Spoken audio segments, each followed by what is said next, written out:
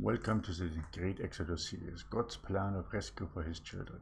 Let my people go, the path to Mount Zion. My name is Michael, I'm the founder of Triple Grace and the Righteous Path Movement Foundation. And our topic today is All of my ministry was important. This is a continuation of our daily prophetic word given by the Holy Spirit. Many people only look at the cross at the fulfillment of the ministry of Jesus Christ. But our Lord and Savior has done so much more. It is not only the cross, it is all what He has done in the ministry.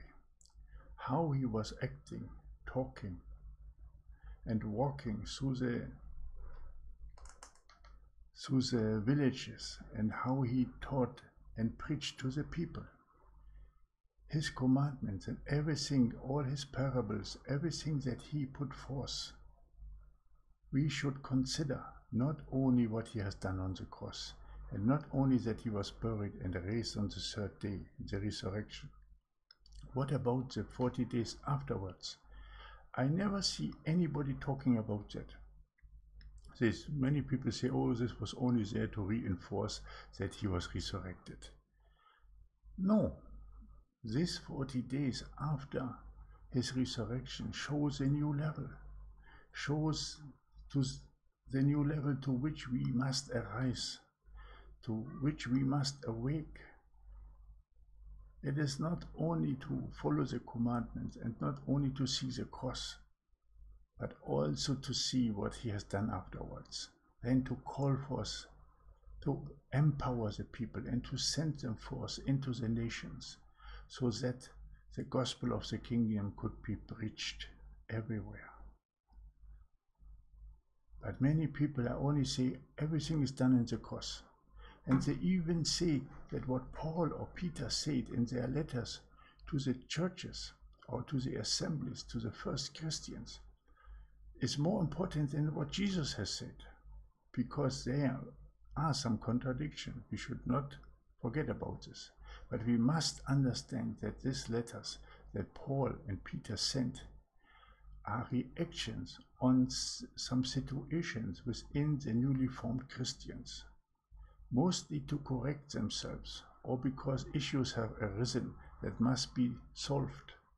So we should not take them as, as a ministry of Jesus Christ, this statement, but we must take them as a reaction onto a certain situation that came up.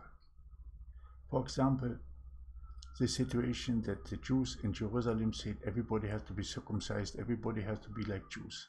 That was a situation arising. And out of this, Paul made a lot of letters and a lot of saying. And many of this of his sayings that he or letters that he published and sent to the people to Jerusalem and also to the assemblies are mistaken now. And out of them they made a doctrine that the law and everything has passed and all this, what is not true. Many man-made doctrines were created because people are only picking one part of the ministry of Jesus Christ instead to look at it whole. If you ask today somebody in the church, what has Jesus said about this and this topic? I tell you, they cannot answer you. They can't. They only say, oh, we know we are saved because Jesus was at the cross. He died for our sins. He's he spilled the blood and now we are saved. But if they do not know what Jesus has done in the ministry, what he has taught and what he has commanded, how then can you fulfill if you are saved by grace, but then you, you are an empty shell because you do not know what to do. And if you do not understand the meaning of the 40 days after his resurrection, then how can you ever climb up the ladder and and reach a new level in understanding that is required for the end time. So we have to see it and look at the whole ministry. Read what Jesus has said. And this must be first. It must be always the first choice that we have. What has Jesus said? What would Jesus do in such and such matter? Not what has Paul said, not what has Peter said, not what is written in any of the epistles, not what is written anywhere. But what has Jesus said and what would Jesus do? act as Jesus did, talk as Jesus did, and walk as Jesus did. So have a look. What has Jesus preached? He has not preached the gospel of grace. He has preached the gospel of the kingdom. But people make a lot of doctrines and say, oh, this is a time of grace and what, and they do not even understand the meaning, what happened afterwards, after the resurrection. How important it was that Jesus appeared here and there in a new, in a newly formed body, in a spiritual body.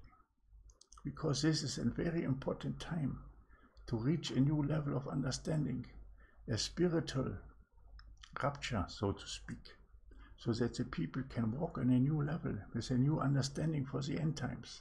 Very, very important. But no churches are preaching about that. They only teach about the cross, the cross, the cross, the cross. They even made the cross an idol. Has God not commanded us not to put anything related to heaven, the earth, or under the earth as a symbol why then do we have all everywhere the crosses and the figure of Jesus Christ? People, people, people, you have to read your Bible.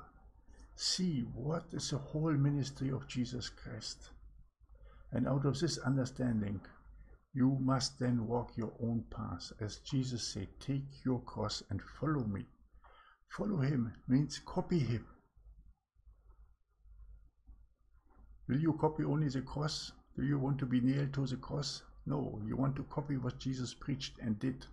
How he acted to the needy, to the poor, the suffering, how he healed the sick, how he raised the dead. This is what you should copy. How he acted against sinners. And for example, the the lady that was brought to him caught in the act of adultery. How he acted there. Will you do the same if you catch your wife and your girlfriend like that? What would you do? You see, you can learn all how to act in love and unity from our Lord and Savior, from His ministry.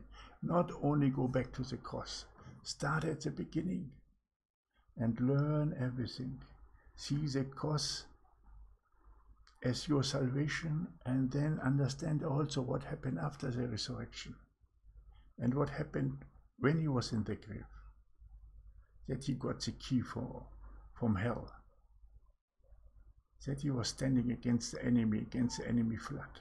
And then afterwards, he received a new body. And then what he do then? He empowered the people to send them out into the nations. So you have to understand the whole ministry, not only part of it. And that is also the reason why we have so much confusion, why we have so much fighting between Christian and Christian, because everybody is looking only at a part. And he want to make this part the whole. But this is not true.